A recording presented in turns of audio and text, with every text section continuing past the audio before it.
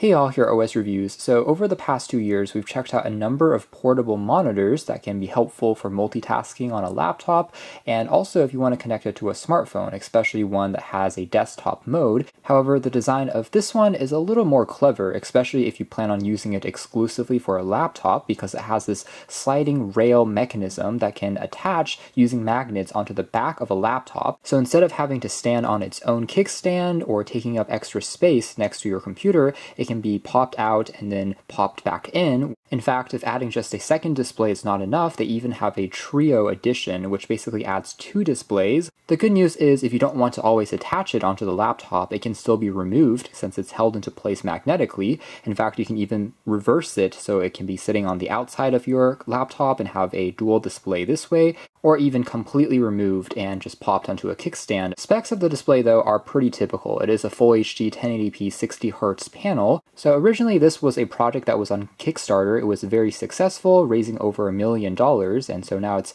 officially available via Amazon and their website. A normal monitor with these specs would sell on Amazon for around 200 bucks, but you are paying a premium here of about $100 more just for that convenience of that sliding design. So there is a gyroscope built on in that can detect the orientation and flip by itself. Otherwise, it's not a touchscreen monitor, so that is one feature that is omitted, which I would like to see them maybe add as an option in the future.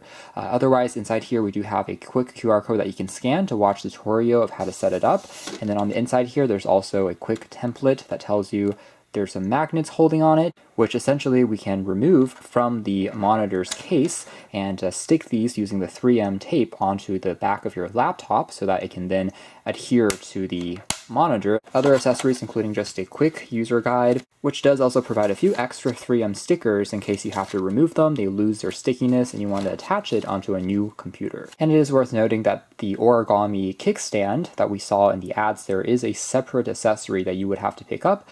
The entire monitor here is very lightweight. On the edge here, we just have two Type-C ports, and here's what the back looks like. So there is a slight hump towards the bottom section here, but it tries to be symmetrical with the other side, so it doesn't wobble if you set it down. Otherwise, we also have a few controls on the back, which you can use to change things like the brightness, and when you're ready to kind of use it, you can kind of pull it outwards like this, and the good news is underneath they are reinforcing it with some aluminum and metal, so it does feel reasonably sturdy. And then on the other side, of course, we can now see the monitor itself, which would then be adjustable in terms of its angle.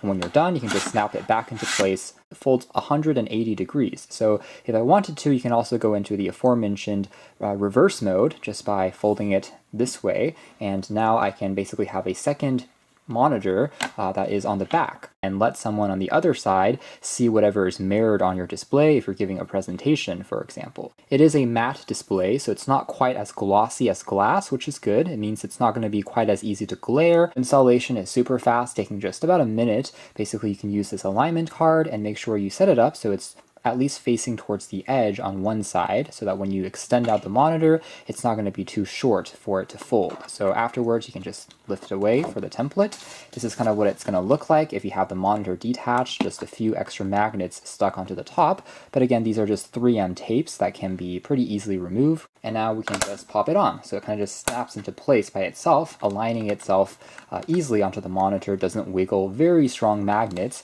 It definitely adds still some thickness, but again, in a backpack or a suitcase shouldn't be too big of an issue.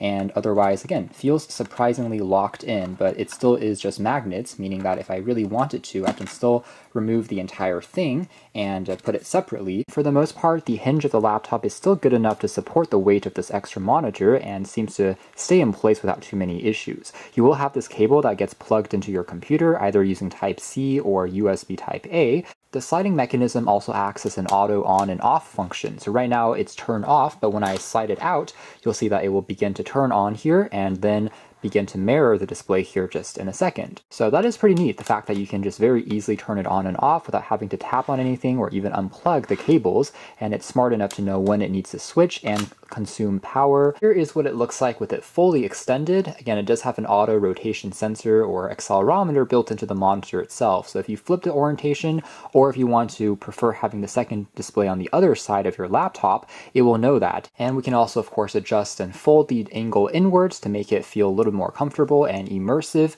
especially if you're tighter on space or you want to glance and move your neck a little bit less. You can definitely play around with this and it works exactly as advertised. So right now I have the displays just duplicated, so whatever I'm doing here on the primary one will be shown on the secondary and show the same thing, but of course if you wanted to actually do multitasking, it would make more sense to extend the display. So under settings on any Windows or Mac OS device, you can easily just toggle around with those settings. It's pretty much just plug and play. Now we have it fully extended. I can drag it over to the second screen, pop it over, do something else on this display, and more easily multitask, open up a browser window, do something else like a PowerPoint, make it easier just to do two things at once without having to hop around as much. Alternatively, let's try out the mode where we want to fold the display completely flat. Still works completely fine. In fact, it's awesome. So I can do whatever I need to on the other side, give a presentation, open a PPT, and the person that's sitting in front of you can also see what you're trying to share in a way, you don't even need to remove it from the laptop. You can just use this as a kickstand to kind of hold up the display.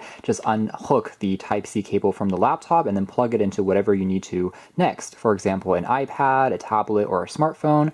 And in most cases, it will just be recognized as a second monitor and can be in this, again, pretty nice position. You can see the orientation there just flip. The display itself doesn't have a built-in speaker of its own. So you still have to play back sound from your computer or your phone, but that's just a minor note. Otherwise, the display quality itself is quite good, by the way, so it offers pretty vibrant looking colors, especially for an IPS LCD screen, and since it is IPS, it means that viewing angles are very good. No issues in terms of looking at it from different sides, and you can see how colors are still retained, nothing is too funky, and overall pretty good brightness as well if you want to kind of view it under a little bit of sunlight. It's not going to be, I would say, the brightest screen in the world, but still is sufficient in most environments that I've used it with. Again, the matte display meaning that it doesn't really attract too much glare even if you're pointing at the light, and here's a demo of the accelerometer in action. So we can flip the screen, and you can see how everything here will auto-rotate when you have the ability to change things like contrast level, saturation, color temperature.